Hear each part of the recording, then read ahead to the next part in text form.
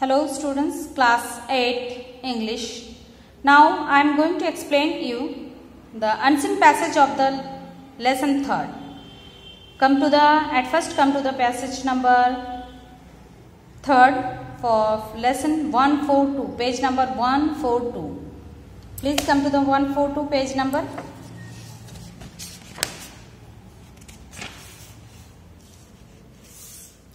I have a dream. Here it is the passage. You have to read it carefully. I have a dream.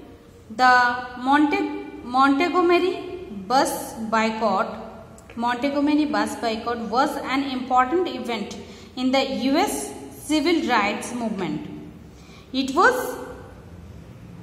a social and political movement protest against the racial integration, racial segregation. The campaign lasted from 1st December 1955 to 20 December 1956 when Rosa when Rosa Parks, an African American woman, was arrested for refusing to surrender her seat to a white person. ये जो passage है ये actually जिस passage के आपने lesson पढ़ा था I have a dream इसमें जो पैसेज में हमने पढ़ा था व्हाइट स्किन और डार्क स्किन में जो प्रॉब्लम था, इसी बेसिस पे है। एक रोजा नाम के रोजा पार्क्स नाम की एक लेडीज़ जिन्होंने बस में जाते टाइम द मॉन्टेगोमेरी बस बाइकॉट ये एक इंपॉर्टेंट इवेंट था यूएस सिविल राइट्स मूवमेंट में, जिसके द्वारा चलाया गया था। पहले स्टार्टिंग हुआ था रोजा नाम की रोजा पार्क्स नाम की एक लेडीज़ है, जिन्होंने, जिनको अरेस्ट किया गया था। क्यों? इनका कारण क्या था अरेस्ट होने का? तो उन्होंने रिफ्यूज टू सरेंडर सरेंडर करने से मना कर दिया था क्योंकि वो एक वाइट पर्सन को बस का सीट देने ही देना चाहती थी। वाइट पर्सन को तब तवज्जो इतना ज़्यादा दी जाती थी कि बस में आते से खड़ा नहीं रहेंगे। वाइट पर्सन वाइट स्किन वाले पर्सन को हमेशा सिटिंग कराया जाता था। So under the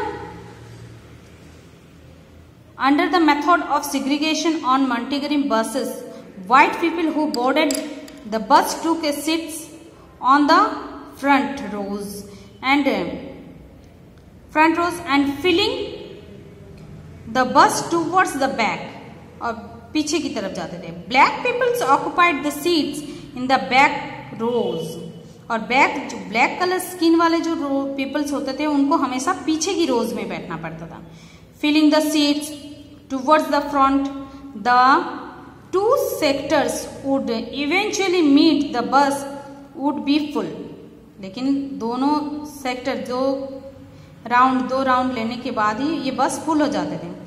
If other people got in to the bus they were required to stand लेकिन इसके ज़्यादा अगर बस इस पर चढ़ते थे लोग चढ़ते थे तो उनको खड़ा रहना पड़ता था। But if another white person boarded the bus then everyone in the back row, nearest the row of the seats of the white person had to get up पूरे रो भर जाने के बाद अगर फिर भी कोई ब्लैक स्किन वाले कोई इंसान बैठते हैं बस की सीट पे तो वाइट स्किन वाले कोई भी पीपल अगर बस पे चढ़ते तो वो सीट को खाली करना पड़ता था।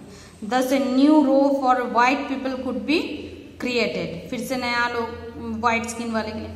Off and when boarding the buses जब बस खाली हो the black people were required to pay at the front gate off from the bus reenter the bus through the door at the back उनको पीछे की दरवाजे से उतरने दिया जाता था। फ्रंट की डोर से व्हाइट स्किन वाले। On December 15 1955 Rosa Parks was sitting in the front most row of the black people black people में सबसे ब्लैक पीपल वाले जो रो था, उनके सबसे पहले बेंच में सीट में ही वही बैठे थे। ये व्हाइट मैन बोर्डेड जैसे बस पे चढ़े।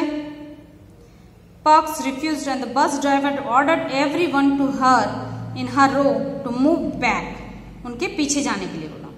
All the other people in her row get up and to the back but Parks refuse Rosa Parks refuse to do so Rosa Park ने मना कर दिया था ये करने से। She was arrested for failing to obey drivers order किस लिए अरेस्ट किया गया? कि आपने ड्राइवर का ऑर्डर नहीं माना।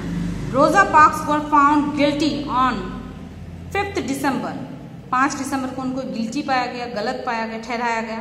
And she was fined dollar ten plus a court cost of dollar fifty four four dollar और दस डॉलर और चार डॉलर ये मिला के उनको चौदह डॉलर का फाइन दिया गया। बट सी अपील्ड लेकिन उन्होंने फिर से अपील करा।